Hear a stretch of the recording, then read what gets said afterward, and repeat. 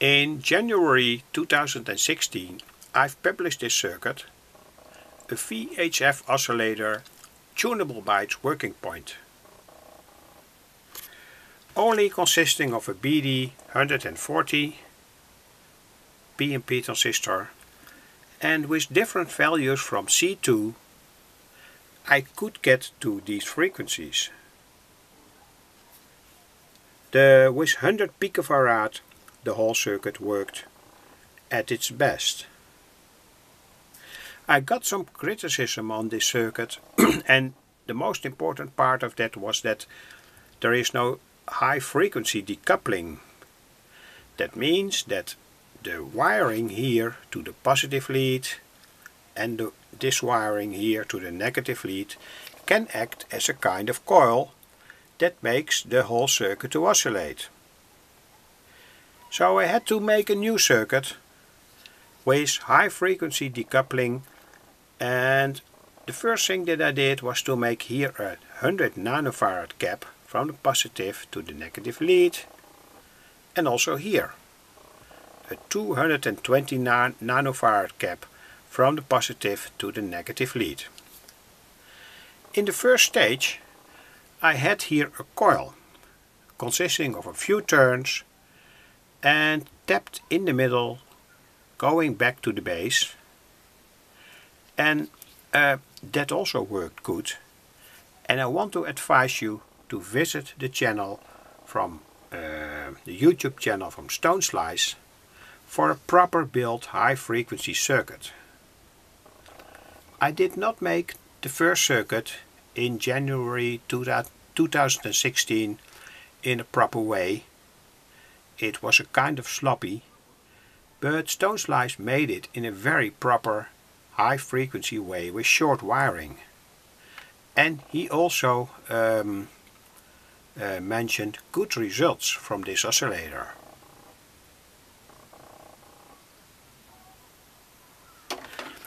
So the next thing was to decouple the circuit. And that's what I did. Here you see the decoupled circuit. BD139 here decouples the whole oscillator in a low frequency way because the amplification factor from the transistor may be multiplied with the value from this cap at the base and say, say that it is 100 and here we have 100 microfarad so 100 times 100 that means that the oscillator sees an endless capacitor at its input like it is a battery here that does not mean that no high frequencies are sent back into the power supply lead. That's the reason why I've mounted here a 100 nano cap and here a 220 nanofarad cap and here a 100 nano cap. Uh, so the whole power supply lead say from here to the oscillator here is made dead for high frequencies.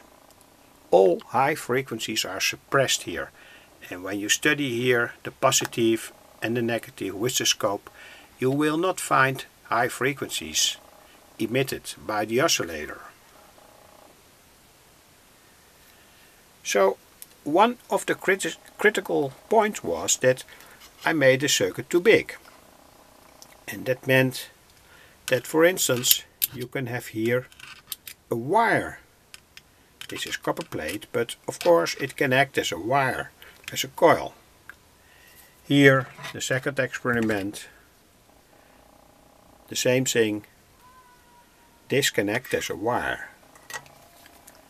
I made the whole circuit a few times to be sure that it worked properly This is also one experiment. Another experiment. Uh, uh, uh, a point of criticism could be that there is wiring here that is a kind of stray wiring that acts as a coil.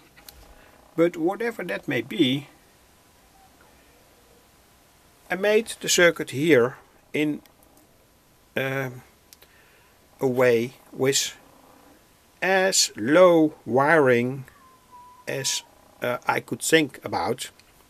So here there is, uh, in my opinion, almost no wiring here that can disturb uh, the functioning from the circuit. Of course, the potentiometer here uh, could be also a coil.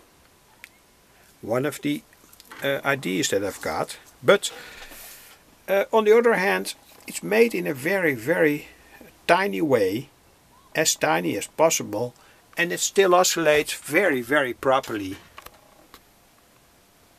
on different frequencies.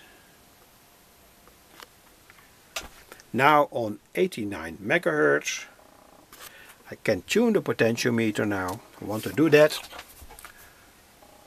Here you can see how it works. Higher and lower frequencies I touch with one point from the screwdriver now the potentiometer. That means that you see all these disturbances. But you can see here that the whole circuit works properly. So I don't see any parasitic wiring here. The whole circuit is properly decoupled and I'm very very interested in a good explanation from this circuit why it works and why it works so good. I wish you luck and perhaps someone can explain this circuit, why it works so good on different frequencies.